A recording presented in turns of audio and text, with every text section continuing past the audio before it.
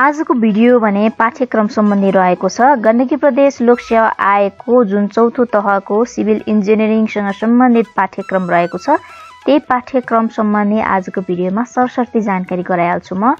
Engineering सेवा सिभिलसम्म चौथो तह असिस्टेन्ट सब इन्जिनियर पदको खुल्ला प्रतियोगितात्मक परीक्षाको पाठ्यक्रम रहेको छ यो। यो पाठ्यक्रम नयाँ हो है त। यस पाठ्यक्रमलाई चाहिँ दुईवटा चरणमा विभाजन गरिएको छ है। पहिलो चरण भनेको रिटर्न इक्जामिनेसन हुन्छ दोस्रो भनेको फाइनल इक्जामिनेसन अब पहिलो भागमा चाहिँ प्रथम चरण र द्वितीय चरण गरेर इक्जाम हुन्छ अनि अन्तिममा चाहिँ अन्तर्वार्ता हुने गर्दछ। अब प्रथम चरणमा चाहिँ विशेष गरेर प्रथम पत्रमा यो सामान्य ज्ञान र सामान्य बौद्धिक परीक्षण हुने गर्दछ अनि त्यही प्रथम पत्रकै बीमा चाहिँ सेवासँग सम्बन्धित ज्ञानसँग सम्बन्धित प्रश्नहरू आउने गर्दछ। यो पूर्णाङ्क सय हुन्छ उत्तीर्णाङ्क चालिस हुन्छ अनि वस्तुगत प्रश्न आउँछन् अनि मल्टिपल चोइस क्वेसनहरू आउने गर्दछन्। प्रत्येक प्रश्नको चाहिँ अङ्कभार दुई हुनेछ पच्चिस पच्चिस गरी पचासवटा प्रश्न आउनेछन् यसको समय भनेको पैँतालिस मिनट हुने गर्दछ। अनि अर्को लिखित परीक्षा है द्वितीय चरणमा लिखित परीक्षाको कुरा गर्नुपर्दा यसको चाहिँ विशेष गरेर सय अङ्कको प्रश्नहरू आउँछन्। लामो तथा छोटो उत्तर आउने प्रश्न हुन्छ यसमा। उत्तीर्णाङ्क चालिस हुन्छ। सेवासँग सम्बन्धित प्रश्नहरू आउने गर्दछ। यसको बाह्रवटा प्रश्न छोटो उत्तर अनि चारवटा प्रश्न लामो उत्तर हुन्छ। समय भनेको दुई घन्टा पन्ध्र मिनटको हुने गर्दछ। अन्तिममा अन्तर्वार्ता हुन्छ। अन्तर्वार्ता भनेको पूर्णाङ्क तिस हुन्छ है। अब यो द्रष्टव्यहरू दिएको छ है। यसमा सरस्वती म जानकारी गराइहाल्छु। यो पाठ्यक्रम योजनालाई लिखित परीक्षा प्रथम चरण र द्वितीय चरण तथा अन्तिम चरण अन्तर्वार्ता गरी दुई पार्टमा विभाजन गरिएको छ। माथि उल्लेखित सेवा सबै समूहको लागि प्रथम र द्वितीय जुन पत्र विषयको विषयवस्तु एउटै हुने गर्दछ र अनिवार्य पनि तर तृतीय पत्र सेवा समूह सम्बन्धी विषय सेवा समूह भने समूह अनुसार फरक हुने गर्दछ। अनि लिखित परीक्षाको प्रश्नपत्रको माध्यम भाषा पाठ्यक्रमको विषयवस्तु जुन भाषामा छ सोही भाषाको आधारमा नेपाली वा अङ्ग्रेजीमध्ये कुनै एक मात्र भाषा हुनेछ। तर विषयवस्तुलाई स्पष्ट पार्नुपर्ने अवस्थामा चाहिँ अन्य भाषा पनि दुवै भाषा पनि समावेश गर्न सकिन्छ भनिएको छ। लिखित परीक्षाको माध्यम भनेको नेपाली वा अङ्ग्रेजी भाषा हुनेछ। नेपाली अथवा र अङ्ग्रेजी दुवै पनि हुन सक्नेछ। जुन मल्टिपल चोइसको क्वेसनहरूको बिस प्रतिशत अङ्क कट्टा गरिनेछ यदि सही उत्तर आएन भने क्यालकुलेटर प्रयोग गर्न पाइने छैन। परीक्षामा सोधिने प्रश्न सङ्ख्या अङ्क र अङ्कभार यथासम्भव सम्बन्धित पत्र विषयमा दिएअनुसार हुनेछ। विषयगत प्रश्न हुने पत्र विषयमा प्रत्येक खण्डका लागि छुट्टा छुट्टै उत्तर पुस्तिका हुनेछ। परीक्षार्थीले प्रत्येक खण्डका प्रश्नहरूको उत्तर सोही खण्डको उत्तर पुस्तिकामा लेख्नुपर्नेछ। अनि यस पाठ्यक्रम योजना अन्तर्गतका पत्र विषयका विषयवस्तुमा जेसुकै लेखिएको भए तापनि पाठ्यक्रममा परेका कानुन ऐन नियम तथा नीतिहरू परीक्षाको मितिभन्दा तिन महिना अगाडि संशोधन भएका वा संशोधन भई हटाइएका वा थप गरी संशोधन भएका कायम रहेकालाई चाहिँ पाठ्यक्रममा रहेको नै सम्झनुपर्छ भन्छ है। अनि प्रथम चरणको लिखित परीक्षाबाट छनौट भएको उम्मेद्वारलाई मात्र द्वितीय चरणको परीक्षामा सामेल गराइनेछ। लिखित परीक्षाको प्रथम चरणमा जुन प्राप्त गरेको प्राप्ताङ्कको शत प्रतिशत अङ्क तथा द्वितीय चरणको प्राप्ताङ्क जोडी कुल अङ्कको आधारमा लिखित परीक्षाको नतिजा प्रकाशनमा आउनेछ। अनि लिखित परीक्षामा छनौट भएका उम्मेद्वारलाई मात्र अन्तिम चरणको अन्तर्वार्तामा सम्मिलित गराइनेछ।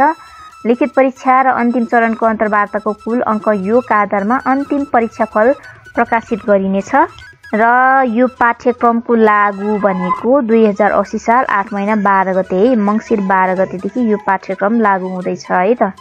अनि यसमा सुरुमा भनेको सामान्य ज्ञानसँग सम्बन्धित प्रश्नहरू आउँछ है त। सामान्य ज्ञान र सामान्य अभिक्षमता परीक्षण है general awareness and general aptitude test.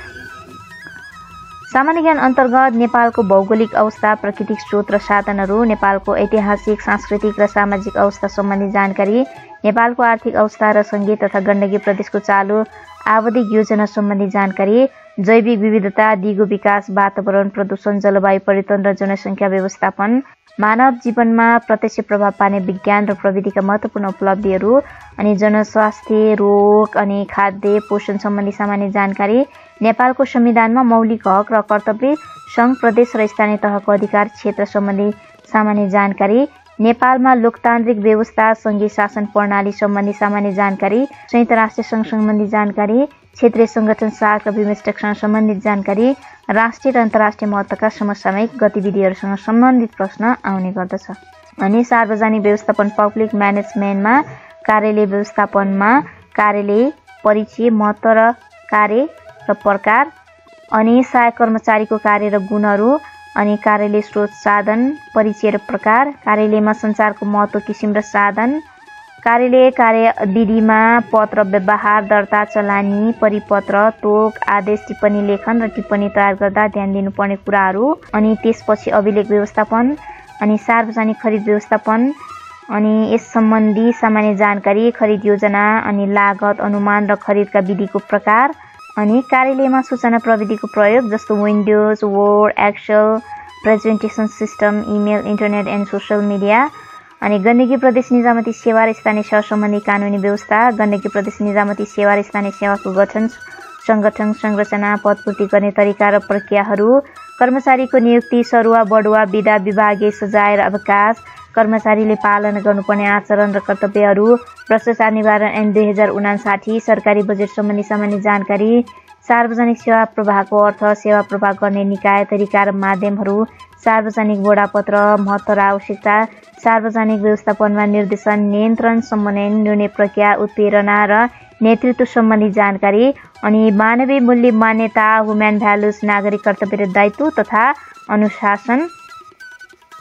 अनि सेक्सन बीमा चाहिँ विशेष गरेर सामान्य अभिक्षमता परीक्षण हुने गर्दछ है जेनरल एप्टिच्युड अब यसमा विशेष गरेर शाब्दिक अभिक्षमता परीक्षण बराबर एप्टिच्युड टेस्ट यस परीक्षणमा चाहिँ शब्द ज्ञान अनुक्रम समरूपता वर्गीकरण कोडिङ डिकोडिङ दिशादुरी ज्ञान परीक्षण अनि तर्क विचार सम्बन्धी आगमन र निगमन पङ्क्तिक्रम आदि विषयवस्तुबाट प्रश्नहरू समावेश गरिनेछन् अनि सङ्ख्यात्मक अभिक्षमता परीक्षणमा चाहिँ यस परीक्षणमा अनुक्रम समरूपता वर्गीकरण कोडिङ अङ्कगणितीय तर्क क्रिया सम्बन्धी प्रतिशत भिन्न अनुपात औसत समय र काम अनि छोडिएका अक्षरहरू र सङ्केतको क्रम मिलाउने अनि यी यस्ता विषयहरूमा चाहिँ प्रश्नहरू आउन सक्छ है।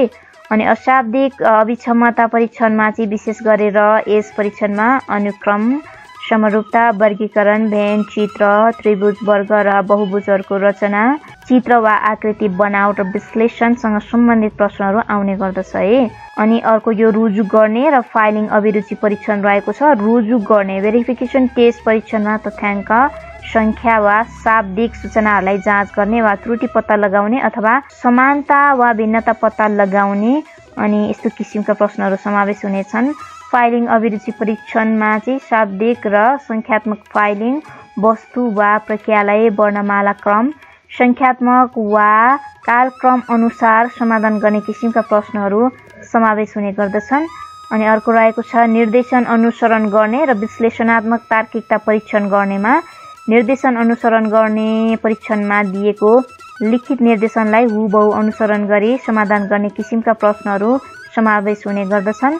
विश्लेषणात्मक तार्किकता परीक्षणमा शाब्दिक वा सङ्ख्यात्मक वा अशाब्दिक चित्रात्मक किसिमका विश्लेषणात्मक तार्किकता सम्बन्धी प्रश्नहरू समावेश हुने गर्दछन्। अनि अर्को रहेको छ भाग दुई है अथवा पार्ट आइआई यसमा चाहिँ सेवासँग सम्बन्धित ज्ञानसँग सम्बन्धित प्रश्नहरू आउने गर्दछ जब बेस्ड नलेज यसमा engineering ड्रइङमा unit dimension and their conversion with special reference to SI system elementary idea of drawing अब्जेक्टमा बिल्डिङ ड्रइङ्स अनि drafting techniques and methods in common practice अनि different types of lines and effects vertical line horizontal line and inclined line thin thin dark light अनि of different materials stone timer glass uh, metal brick concrete sand or tile plaster त्यसै गरी डाइमेन्सनिङमा element to element centre to centre and overall डाइमेन्सनिङको कुराहरू आउने गर्दछ। Major ड्रइङमा चाहिँ methods of measurement of horizontal and vertical dimensions अनि sectional measurements scale choice use and conversion अनि working ड्रइङमा significance of detailing in terms of accuracy of estimation bill of quantities and construction supervision अनि structural working drawings and structural details column beam slab foundation and other structural elements अनि estimating costing supervision and मेजरमेन्ट्सको कुरा गर्दा purpose of estimating methods of estimate types of estimate preliminary estimate approximate quantity estimate detailed estimate revise estimate standard estimate formats of government of Nepal rate analysis and norms estimating items of construction works, estimate of civil works and site development work, अनि specification purpose types and necessity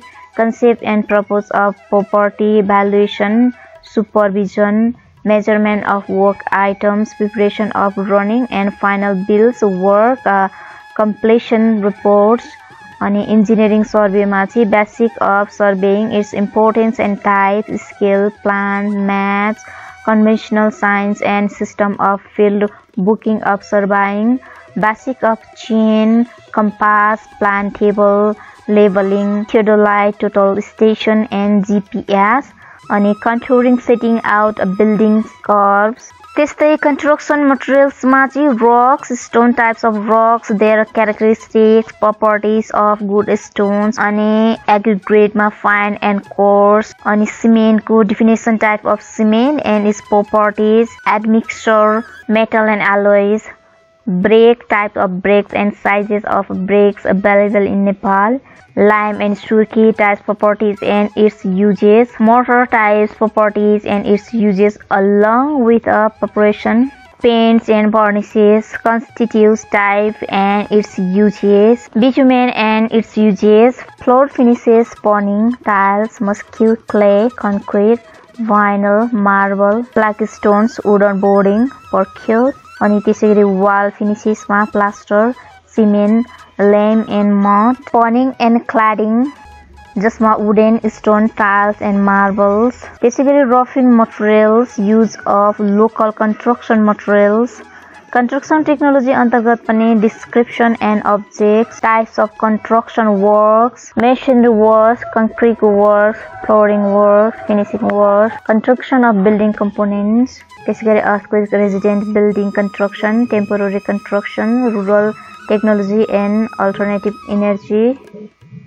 District concrete technology and management constitutes of cement concrete, cement, aggregate, water admixture, grading of aggregates, water cement ratio, workability and strength of concrete, concrete mix, laying, pouring and compaction, reinforcement laying, framework, curing of concrete, storage and management of construction materials, record keeping and construction site, daily work done, manpower, mobilize, material storage, अनि construction safety, schedule tools bar chart, test of fresh concrete, अनि building service अन्तर्गत treatment system and drinking water quality, water supply, types of storage, underground, overhead, types of water supply pipe and its fitting, uh, safety tank, soak piece, vents, manhole, types of storage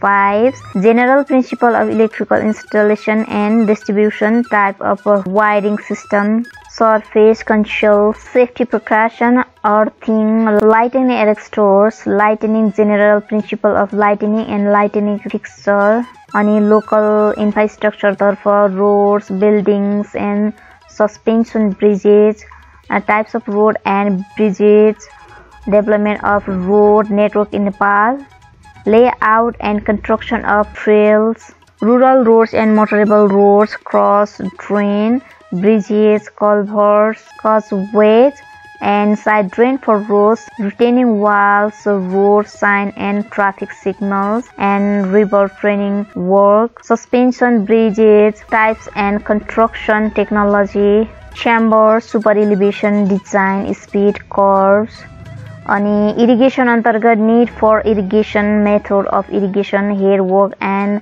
canal network operation and maintenance of irrigation systems, types of irrigations, river training works, अनि water supply अन्तर्गत community based water supply system selection of water source with adequate quantity water demand analysis operation and maintenance of water supply अनि components of water supply system अनि अर्को general information about लेजिस्लेसनमा नेपालको संविधान भाग एक दुई तिन सत्र र आठ तथा अनुसूचीहरू स्थानीय सरकार सञ्चालन एन दुई हजार चौहत्तरमा पूर्वाधार विकास सम्बन्धी व्यवस्था अनि विशेष गरेर प्रथम पत्रको लागि यथासम्भव अनुसार प्रश्न सोधिनेछ भनिएको छ है। प्रथम पत्रको जुन रहेको छ आईमा चाहिँ तपाईँको जेनरल नलेज सम्बन्धी प्रश्न अनि जेनरल एप्टिच्युड टेस्टहरूसँग सम्बन्धित प्रश्न आउँछ भने अर्को आइआईमा चाहिँ जब बेस्ड नलेजहरू आउँछ यिनै प्रश्नहरू जुन यिनै विषयसँग सम्बन्धित प्रश्नहरू आउने गर्दछ।